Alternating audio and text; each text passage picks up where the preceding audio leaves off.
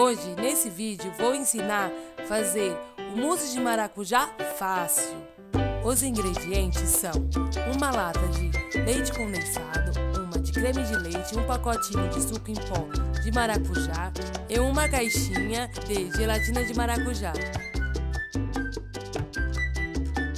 E coloque 250 ml de água para ferver.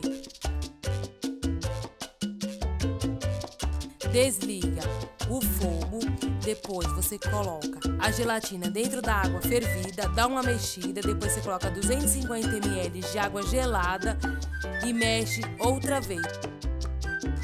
Depois você coloque dentro de uma travessa e coloque dentro da geladeira por alguns minutos. Quando você vê que a gelatina já está dura, agora você coloca dentro do liquidificador a gelatina, o creme de leite, o suco em pó e o leite condensado e bate tudo por mais ou menos um minuto.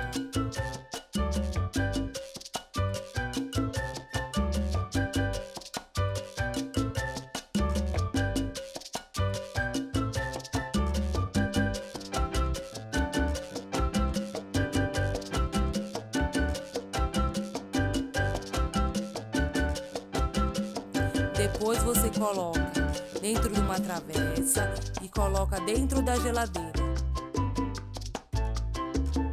Se você gostou da receita, deixe aquele like e se inscreva-se.